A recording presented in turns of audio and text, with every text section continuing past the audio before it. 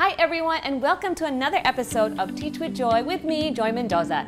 Today, we have another set of extraordinary guests. I'm so privileged to be able to talk to Mark Pingers and his wife, Danica Soto. As many of you already know, Danica, of course, is an actress and she's also a TV host. And Mark is a PBA legend. So imagine the kind of pressure that their kids may sometimes feel, or maybe not. We're gonna find out today as we talk to them about pressures and expectations.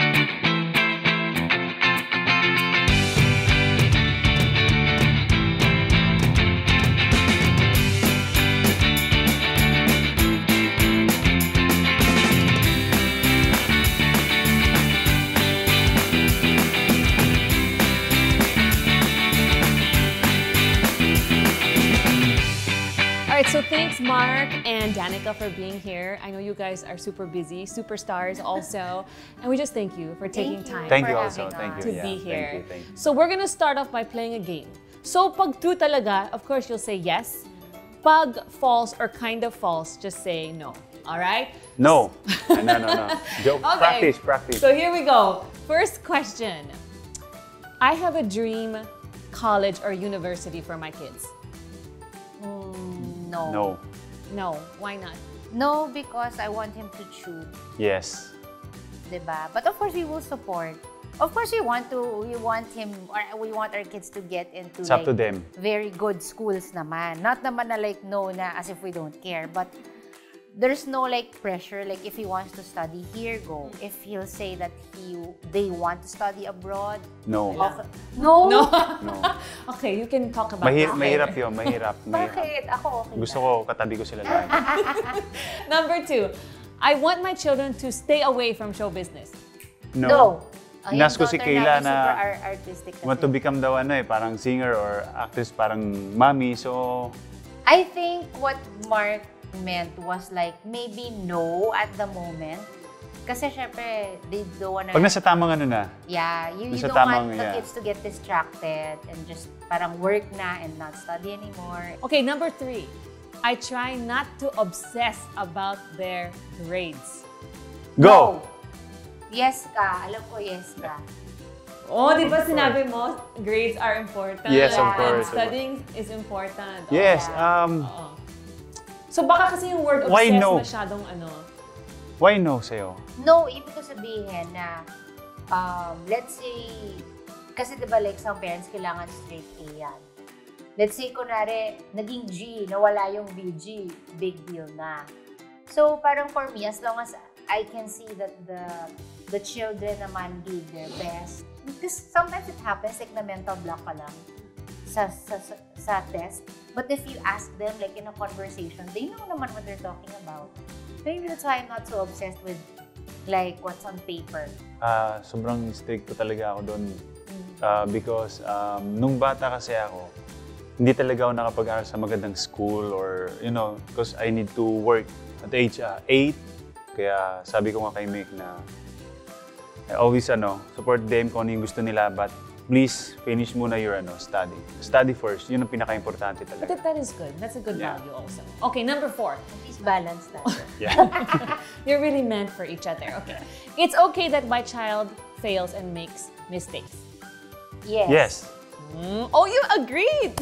Agree tayo. Of course. Oh, why yes? Eh, ikaw muna. For me kasi that's also how they will learn. yes. I, I always tell Nick na kasi there was one time na we had to do like the secret for homeschool and then I noticed that he just wanted to finish and then he didn't really care about the answers. Basta he just wanted to finish because he wanted to play video Parang games. chamba-chamba lang, He wanted to play video games already. So I said, you know, Mick, I'd appreciate if kunwari you failed, but you tried. You tried, yes. Kasi you learned something. But, but if you failed because you did it on purpose, because parang walang Parang gusto lang maglaro sa'yo, agad. Then that's not good. Yeah. Sabi ko sa kanya. Pangit yun. Oh, but kunwari nagkamali ka lang, It's it's okay. okay. I'll understand. Okay lang yan.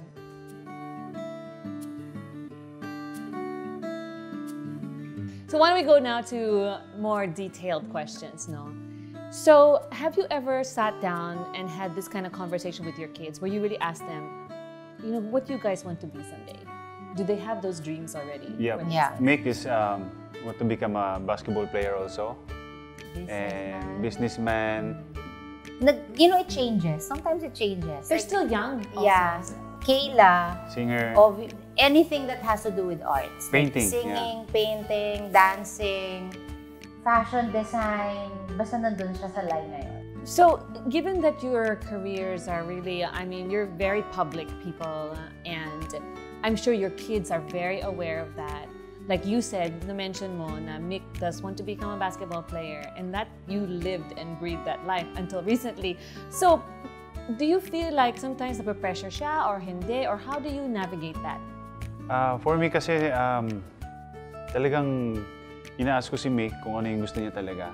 Ayaw kasi ma-pressure si Mick, basta for me talaga, kahit anong gusto nila, talagang support kami ni Danica. It's very ano, important. Kasi ayaw ko rin naman yun ma-pressure siya na kailangan mag-MVP din ako dahil MVP yung dad ko. Kailangan, kailangan, kailangan maging artista ako dahil artista yung mother ko. Ano bang term dito? Parang freedom sa nila na gusto ko, Parang yung sarili parang nilang sarili nila muna, sariling name at sarili nilang kung ano yung talaga yung gusto nila. And it's interesting to say you have one boy, one girl. So I'm sure minsan nakaka-compare mo yung upbringing mo, Mm. di ba, with what they Yes, yes. are experiencing now. So is there ever any kind of pressure in that sense? Like, noon, ganito ako, so dapat kayo din, you learn to deal with this and that. Ang hirap. um, for me lang naman, ano eh, um, gusto ko lang naman sa kanila yun i-share yun kung ano yung ginawa ng mother ko for me. Lagi namin sila nire-remind na ito yung tama at ito yung mali. So gusto namin talaga na, you know, ma- matuto rin talaga sila dahil hindi balang araw na sa tabi namin sila. Mm, Yeah. nice. Or what about you, Danica? You wanna add Parang, yeah, like Mark is very particular with that. Uh, he always reminds the kids, not naman make lang, no, na, okay, you wanna be a basketball player, but lagi sinasabi ni Mark that before, you know, before I reach this certain point, ang daming pinagdaanan ni Daddy. And I hope you don't take that for granted. Okay, we're here to support you guys, but just to set things straight, there's no pressure. Yeah, and that's a good balance, I think. Kasi parang Mark gives also the realities, no? Like, not everyone's gonna have the same circumstances you have now, Mm. especially like what he went through before. And I think that's good because I think sometimes also today, sometimes parents kasi masyado din, Stricto. Hindi- sometimes too strict, but sometimes also parang too too permissive. Like, lahat lang binibigay, Yes, di yes, ba? yes. na kasi they have that capacity now. So sure, whatever you want, I'll give it. So parang it's a good balance, I think. Okay, now how do you teach your kids not to compare themselves with others? Or even with you guys? parang there were times na nakita ko Mick, people would really compare Mick to Mark. So, di ba, like when Mark was still playing basketball, and we would go to like Araneta or basta yung mga venue din. And then, the fans would tell him, oh, Mick ha, ganyan, You're ganyan next, ka man." din, you're the next. Ikaw na rin, Mick, ganon. So, every time we would get home, I would always tell Mick na, if you really want this, then you pray about it. But don't do it because people are expecting you to do it. Because I know how it feels growing up, being always being compared to your parents. And they always, even your looks, may soft spot ako para sa kanya. Kasi I, I, I know how he feels. And he said naman, it doesn't bother him because he likes it. But sometimes lang, what bothers him is, this is like pre-pandemic, like not being able to to do things na yung without people noticing. Pinapaintindi ko na lang. How can you encourage parents to maybe recognize the bents, the talents of their kids individually without forcing them to be a certain way? Uh, important talaga you get to talk to your children. Number one yan. like um, ask them, Ask 'di ba? What interests them? Kasi sometimes tayo if it's something that we don't like, we usually like wala na, we don't listen to them anymore. Ay nako, hindi maganda 'yan. That's 'di ba? But ask them like my son, I asked him, "Why do you like this game so much? What do you find in it? What, what Kasi minsan may matututunan ka rin sa kanila. eh. parang what excites you? Yeah. Why ba? Or what what's with this show? Why do you like it so much? So, from there, you'll know now what they like or what interests them, 'di ba?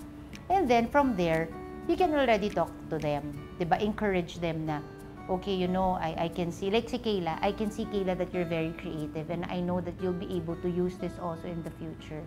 Because I cannot give her advice if I don't know her. I feel that's the key talaga. If you know your children well, you would also know what to say, you'll know what their trigger points are, and you'll also know the words that will melt their heart. Please don't compare yourselves to social media or sometimes maybe for if you see us kasi also we are struggling also we have our challenges what way? Oo, parang kami, we're normal parents. We we go through the same thing. So sometimes when I get messages na, wow, goals kayo, ay ganyan, I say, no, you guys do you. As long as nandyan si God, hindi niya kayo papabayaan. I feel na doon nanggagaling yung pressure also ng kids and ng, ng parents. It's good that you you get inspired from other parents and other kids. Maybe you can emulate, 'di ba, yung mga characteristics or good traits nila. But siguro do not imitate or don't feel na kailangan ganito ako. Kasi iba-iba tayo ng family setup, iba-iba tayo ng dynamics. So everyone, you know, thanks for being with us today. And Mark and Danica, thank you so much for Thank your you. wisdom, Thank your you. honesty, and I learned so much from them. So first, I learned that as we navigate parenting, and just all of us want our kids to be successful, but it's very important to have open communication with our children. Finding out what do they really love to do. And then if they express something that sometimes, wait, medyo, hindi, you know, not something that we may like, our first instinct should not be to react, but to ask them, oh, why do you want to be that? Or why do you want to do that? And if it's wrong, I, I like also Mark's perspective. It's also our responsibility to guide them, set boundaries. But at the end of the day, as parents, like what Danica said, don't be pressured by other families out there. I love what she said. She said, You do you. In other words, God has a specific design for your family, specific purposes for your children. So you navigate that together by talking to your kids, and then you support your kids with their bents and their interests. And that's the way to balance having expectations but not putting negative pressure on your children. And I wanted to end with this passage in Joshua. He told Joshua, if you want to have success, you meditate on my word day and night and be careful to do according to all that is written in it. For then you will make your way prosperous and then you will have success. So I hope that encourages you guys and thank you for watching another episode of Teach with Joy.